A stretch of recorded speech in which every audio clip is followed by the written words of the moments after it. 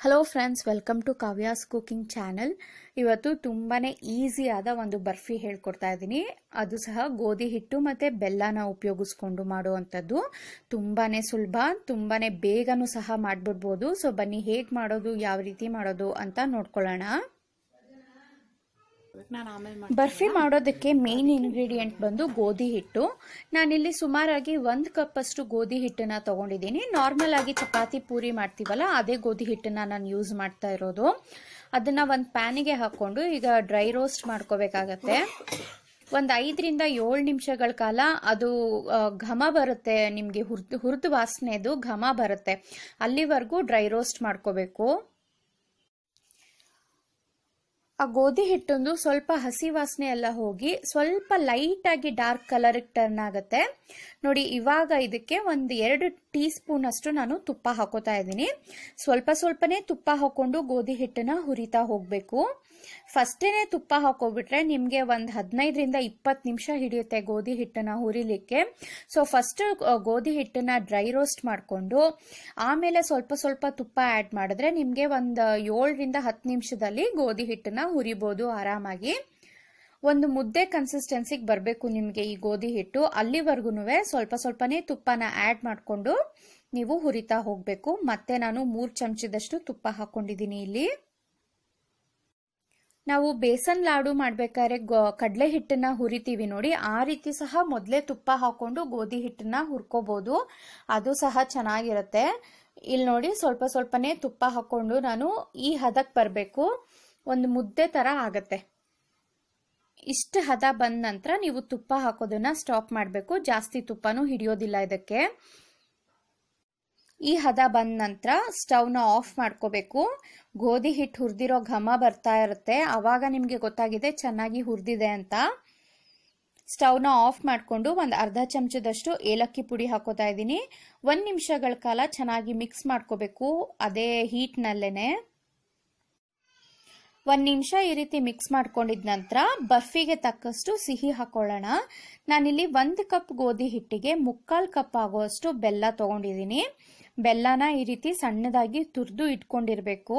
ನೋಡಿ, ಬೆಲ್ಲ ಹಾಕಿದ ನಂತರ ಕಂಟಿನ್ಯೂಸ್ ಆಗಿ ಈ ರೀತಿ ಕೈಯಾಡ್ತಾ ಇರಬೇಕು. ಆ ಗೋಧಿ ಹಿಟ್ಟಲ್ಲಿ ಏನು ಬಿಸಿ ಇರುತ್ತಲ್ಲ, ಶಾಖ, ಅದರಲ್ಲೇನೆ ಬೆಲ್ಲನೂ ಸಹ ಕರಗಿ ಹೊಂದ್ಕೊಳ್ಳುತ್ತೆ ಗೋಧಿ ಹಿಟ್ಟಿನ ಜೊತೆ. ಇದು ನೀರು ಬಿಟ್ಕೊಳ್ಳೋದಾಗ್ಲಿ ಆ ರೀತಿ ಎಲ್ಲ ಏನೂ ಆಗೋದಿಲ್ಲ ಜಸ್ಟ್ ಬೆಲ್ಲ ಮಿಕ್ಸ್ ಆಗುತ್ತೆ ಅಷ್ಟೇನೆ. ಈ ಬರ್ಫಿನ ತುಂಬಾನೇ ಸುಲಭವಾಗಿ ಮಾಡ್ಬಿಡ್ಬೋದು, ಯಾಕೆಂದ್ರೆ ಇದರಲ್ಲಿ ಸಕ್ಕರೆ ಪಾಕ ತೆಗೆಯೋದಾಗ್ಲಿ, ಬೆಲ್ಲದ ಪಾಕ ಮಾಡ್ಕೊಳ್ಳೋದಾಗ್ಲಿ ಏನೂ ಇಲ್ಲ. ತುಂಬಾನೇ ಅಂದ್ರೆ ಬಿಗಿನರ್ಸ್ ಸಹ ಈಸಿಯಾಗಿ ಈ ಬರ್ಫಿನ ಮಾಡಬಹುದು.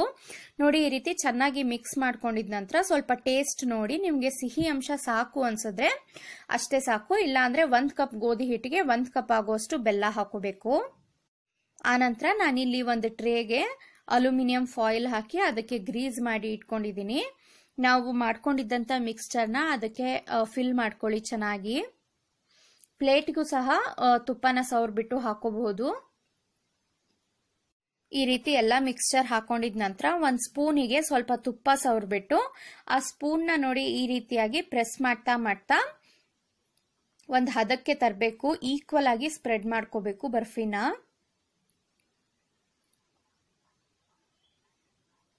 ಇದ್ರ ಮೇಲ್ಗಡೆ ನೀವು ಡ್ರೈ ಫ್ರೂಟ್ಸ್ ಇಂದ ಏನು ಅಲಂಕಾರ ಸಹ ಮಾಡ್ಬೋದು, ಬಟ್ ನಾನಿಲ್ಲಿ ಪ್ಲೇನ್ ಬರ್ಫಿ ಹೇಳ್ಕೊಡ್ತಾ ಇದ್ದೀನಿ. ತುಂಬಾನೇ ಸುಲಭ. ಇದರಲ್ಲಿ ಸಕ್ಕರೆನೂ ಏನು ಹಾಕಿರೋದಿಲ್ಲ, ಆರೋಗ್ಯಕ್ಕೂ ಒಳ್ಳೇದು ಬೆಲ್ಲ ಹಾಕಿರೋದ್ರಿಂದ. ನೋಡಿ ರೀತಿ ಈವನ್ ಆಗಿ ಸ್ಪ್ರೆಡ್ ಮಾಡ್ಕೊಳ್ಳಿ ಎಲ್ಲ ಕಡೆ. ಈ ರೀತಿ ಈವನ್ ಆಗಿ ಸ್ಪ್ರೆಡ್ ಮಾಡ್ಕೊಂಡಿದ ನಂತರ ಒಂದು ಐದರಿಂದ ಹತ್ತು ನಿಮಿಷ ಬಿಟ್ರೆ ಸಾಕು ಬರ್ಫಿ ರೆಡಿ ಆಗ್ಬಿಡತ್ತೆ. ನೋಡಿ ಈ ರೀತಿ ಸೆಟ್ ಆದ ನಂತರ ಟ್ರೇಯಿಂದ ತೆಗೆದು ನಿಮಗೆ ಯಾವ ಶೇಪ್ಗೆ ಬೇಕೋ ಆ ಶೇಪ್ಗೆ ಬರ್ಫಿನ ಕಟ್ ಮಾಡ್ಕೊಳ್ಳಿ. ಬಾಯಲ್ಲಿಟ್ರೆ ಕರ್ಗೋಗ್ಬಿಡತ್ತೆ, ಅಷ್ಟು ಚೆನ್ನಾಗಿರುತ್ತೆ ಈ ಬರ್ಫಿ. ತುಪ್ಪದಲ್ಲೇ ಹಾಕಿ ಹುರಿದಿರೋದ್ರಿಂದ ತುಂಬಾನು ಘಮ ಘಮ ಅಂತ ಇರುತ್ತೆ ಬರ್ಫಿ. ತುಪ್ಪದ ಫ್ಲೇವರ್ ಜಾಸ್ತಿ ಇಷ್ಟಪಡೋರು ಫಸ್ಟೇ ಜಾಸ್ತಿ ತುಪ್ಪ ಹಾಕಿ, ಅಂದರೆ ಒಂದು ಕಪ್ ಗೋಧಿ ಹಿಟ್ಟಿಗೆ ಒಂದು ಕಪ್ನಷ್ಟು ತುಪ್ಪ ಹಾಕಿ ಸಹ ಹುರಿತಾರೆ. ಅಷ್ಟೂ ಸಹ ಮಾಡ್ಕೋಬೋದು ಬಟ್ ಅಷ್ಟೊಂದು ತುಪ್ಪ ಹಾಕೋದಕ್ಕಿಂತ ನಾನು ನಾನು ಹೇಳಿದ ಮೆಥಡಲ್ಲಿ ಸ್ವಲ್ಪ ಸ್ವಲ್ಪನೇ ತುಪ್ಪ ಹಾಕ್ಕೊಂಡು ಮುದ್ದೆ ಕನ್ಸಿಸ್ಟೆನ್ಸಿಗೆ ಬರೋ ತನಕ ತುಪ್ಪ ಹಾಕಿದ್ರೆ ಸಾಕು. ತುಂಬಾ ಡೆಲಿಕೇಟ್ ಇರುತ್ತೆ ಇದು. ಸ್ವೀಟು ನೋಡಿ ಮುಟ್ಟಿದ್ರೇ ಹಾಗೆ ಮುರಿದೋಗ್ತಾ ಇದೆ. ಬಾಯಲ್ಲಿ ಹಾಕಿದ್ರಂತೂ ಫುಲ್ ಕರ್ಗೆ ಹೋಗುತ್ತೆ. ನೋಡಿ, ಎಷ್ಟು ಸಾಫ್ಟ್ ಆಗಿ ಬಂದಿದೆ ಅಂತ ತುಂಬಾನೇ ಚೆನ್ನಾಗಿರುತ್ತೆ. ಫ್ಲೇವರು ಅಷ್ಟೇ ಗೋಧಿ ಹಿಟ್ಟು ಚೆನ್ನಾಗಿ ಹುರಿದಿರೋದ್ರಿಂದ ತುಂಬಾ ಚೆನ್ನಾಗಿರುತ್ತೆ ಇದು ಫ್ಲೇವರಲ್ಲೂ ಟೇಸ್ಟಲ್ಲೂ ಇವತ್ತು ನಾನು ಮಾಡಿರೋ ಈ ಈಸಿ ಗೋಧಿ ಹಿಟ್ಟಿನ ಬರ್ಫಿ ನಿಮ್ಮೆಲ್ಲರಿಗೂ ಇಷ್ಟ ಆಗಿದೆ ಅಂತ ಅನ್ಕೋತೀನಿ. ಇಷ್ಟ ಆಗಿದ್ರೆ ಪ್ಲೀಸ್ ಲೈಕ್ ಮಾಡಿ ಶೇರ್ ಮಾಡಿ. ಹಾಗೆ ಕೊನೆಯದಾಗಿ ನನ್ನ ಚಾನಲ್ಗೆ ಸಬ್ಸ್ಕ್ರೈಬ್ ಆಗೋದನ್ನು ಮಾತ್ರ ಮರಿಲೇಬೇಡಿ. Thank you